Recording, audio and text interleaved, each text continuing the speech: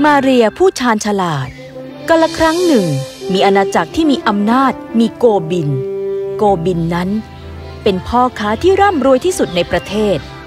และอาศัยอยู่ใกล้กับวัง พ่อค้าโกบินมีลูกสาวอยู่สามคน คนโตสุดชื่อเอเลนาคนที่สองชื่อเกรธา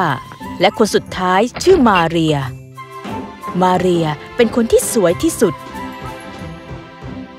วันหนึ่ง พระราชาเรียกพ่อค้าโกบินเข้าวังฟาบาท เข้ามาสิโกบิน ยินดีต้อนรับฟาบาท เรียกข้ามาด้วยเรื่องอะไร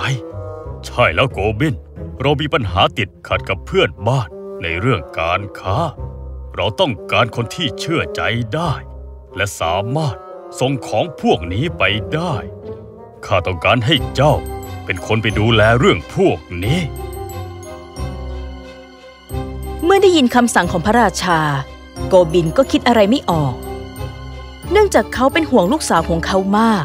เขาไม่เคยปล่อยให้ลูกสาวของเขาอยู่ตามลำพังมาก่อน มีอะไรเหรอโกบินทำไมนายจึงเงียบไปไม่มีอะไรมากฝ่าบาท ถ้าข้าไป ลูกสาวข้าต้องอยู่โดยที่ไม่มีค่า แต่ว่าข้าแค่เป็นห่วงพวกเขาเท่านั้นเอง ไม่ต้องเป็นห่วง หลังจากที่เจ้าไป ลูกสาวเจ้าจะได้รับการดูแลอย่างดี และจะไม่เป็นอะไรเอ่อรับทราบฝ่าบาท โกบินไม่อยากจะทิ้งลูกสาวของเขา แต่เขาก็ไม่อาจปฏิเสธคำสั่งของพระราชาได้ เขากลับไปที่บ้านเพื่อจะบอกลาลูกๆของเขา เขาได้เจอกระถางดอกกุหลาบ และได้มอบมันให้กับลูกสาวทั้งสามของเขา และพูดว่า พ่อต้องเดินทางไปทำงาน อย่าให้ใครเข้ามาในบ้าน ถ้าลูกปล่อยให้เขาเข้ามา พ่อจะรู้จากกระถางพวกนี้ ไม่มีอะไรต้องน่าเป็นห่วงค่ะท่านพ่อ เดินทางปลอดภัยอย่าได้กังวลเลยนะคะ โกบินบอกลาลูกๆของเขา วันรุ่งขึ้น พระราชามาที่บ้านของโกบินกับเพื่อนของเขาอีกสองคน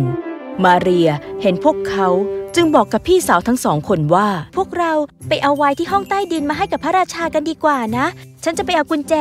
ส่วนเอเลนาไปเอาโคม และเกรธาไปเอาขวดนะ เมื่อพระราชาได้ยินมาเรียพูด จึงบอกว่า ไม่ ไม่เป็นไร อย่าเดือดร้อนเลย พวกเราไม่ต้องการอะไร ได้ยินไหมล่ะมาเรีย ฮะ ได้ยินไหม พระราชาเน่ะไม่ต้องการอะไรพ วกเราทั้งสองคนจะไม่ไปไหนทั้งนั้น ตกลง ถ้าพวกพี่ไม่ไป ฉันไปเอง มาเรียออกจากบ้านเธอ แล้ววิ่งไปหาเพื่อนบ้าน เปิดประตูหน่อยค่ะ เปิดประตูหน่อย ใครกันเนี่ย มันดึกขนาดนี้ในตอนกลางคืนน่ะ ป้าคะ นี่หนูเองค่ะมาเรีย ช่วยเปิดประตูให้หน่อยค่ะ โอ้ มาเรียเองเหรอ มาทำไมดึกเดินล่ะเนี่ย ฮะ ป้าคะ หนูน่ะทะเลาะกับพี่สาวมา หนูขอนอนด้วยได้ไหมคะ ได้โปรดละค่ะอ๋อได้สิ เข้ามาในบ้านก่อนนะ มาเข้ามาก่อน มาเรียอยู่บ้านหญิงชราทั้งคืน เมื่อมาเรียไม่ได้กลับมาที่บ้าน พระราชาก็โกรธมาก ในตอนเช้ามาเรียกลับมาถึงบ้าน ก็ได้พบว่าดอกกุหลาบในกระถางนั้นได้เหี่ยวเฉา เนื่องจากพวกพี่ๆของเธอไม่เชื่อฟังคำสั่งของพ่อ เธอไปที่ห้องพี่สาวคนโต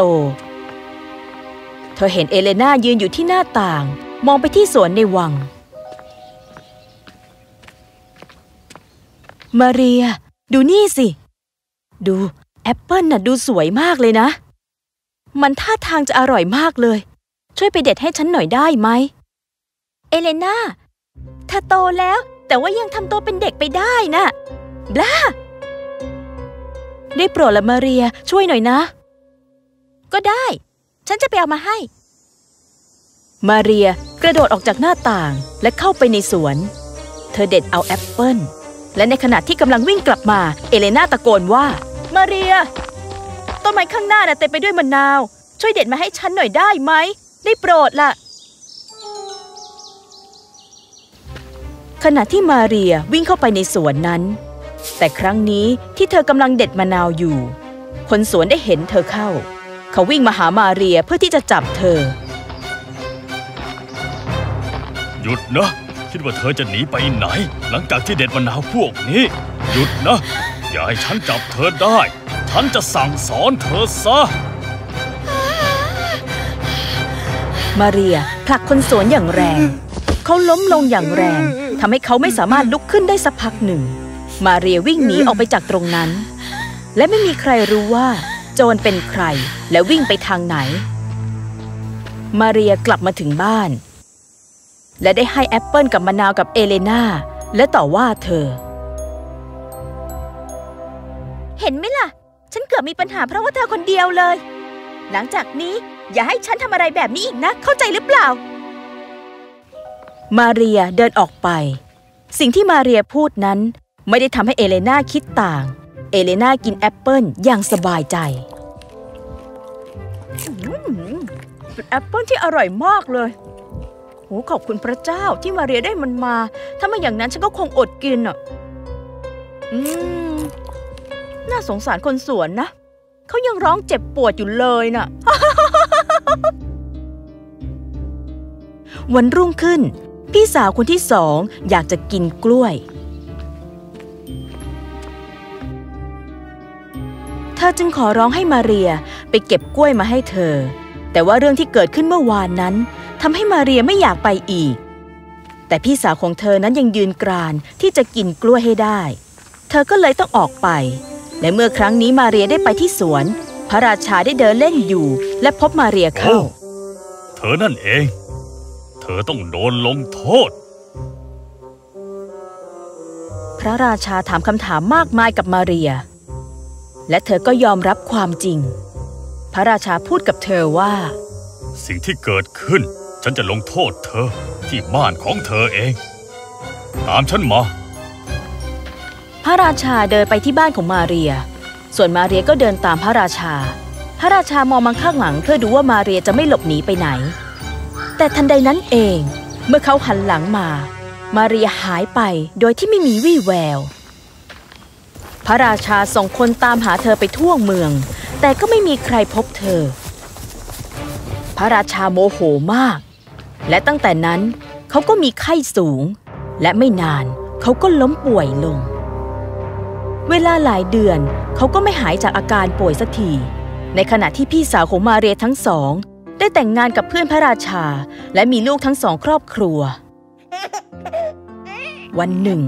มาเรียแอบเข้าไปในบ้านของพี่สาวเธอ เอาลูกทั้งสองของเขาไป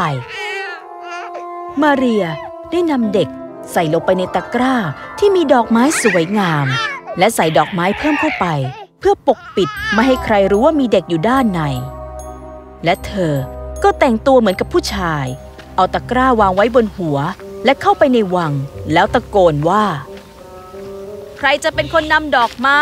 ไปให้กับพระราชา ที่ป่วยเพราะว่าความรักกัน ที่ป่วยเพราะว่าความรักกัน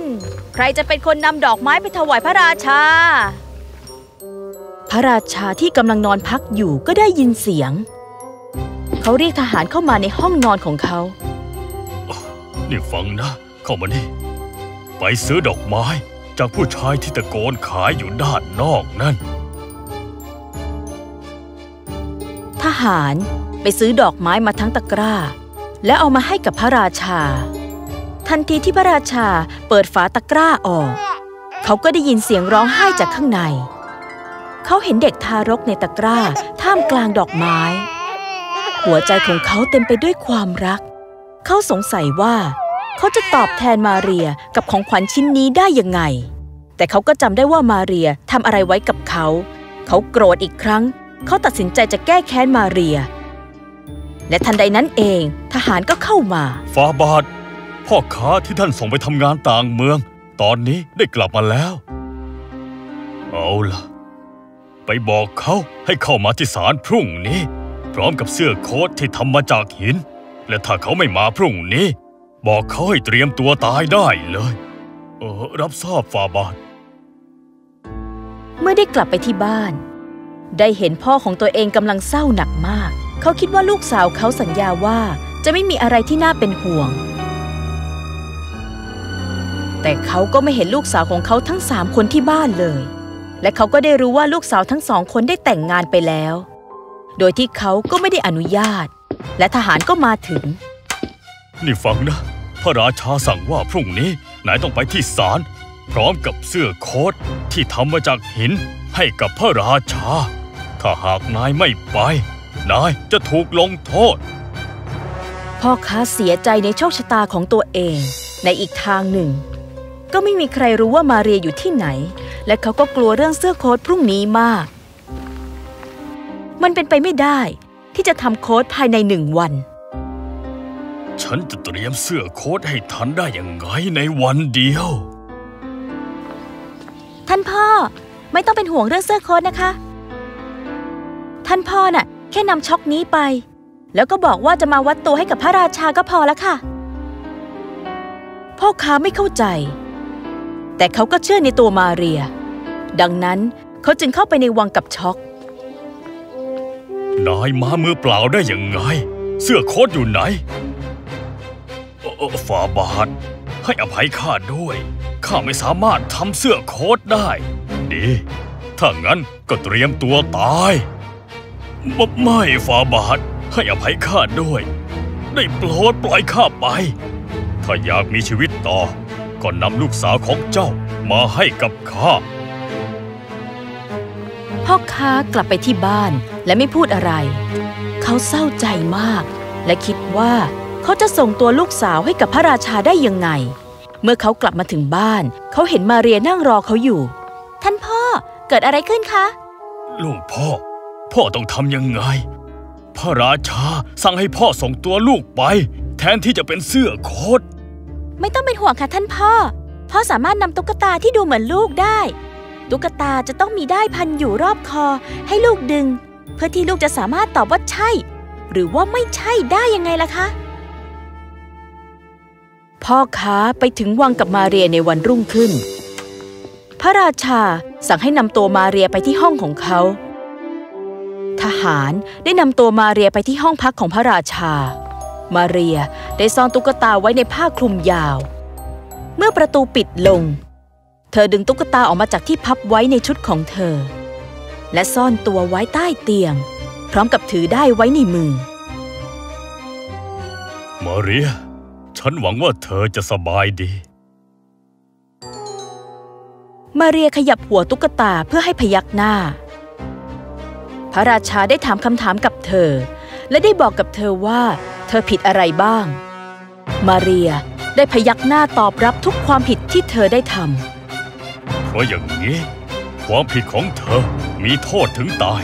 ำพระราชานำดาบออกมา และฟันไปที่คอของเธอ ทันทีที่หัวตกลงที่พื้น พระราชาก็รู้สึกเหมือนมีคนมาจูบที่เท้าโอ้มันคือความรัก ถึงแม้ว่าจะตายไปแล้วก็ตาม นี่ฉันทำอะไรลงไป ฉันฆ่าเธอด้วยมือคู่นี้ ฉันไม่ควรอยู่อีกต่อไปแล้ว ทันทีที่พระราชาจะตัดคอของตัวเอง มาเรียได้ออกมาจากใต้เตียง และพระราชาได้กอดเธอ หลังจากนั้นพวกเขาทั้งสองก็ได้แต่งงานกัน และอยู่ด้วยกันอย่างมีความสุขตลอดไป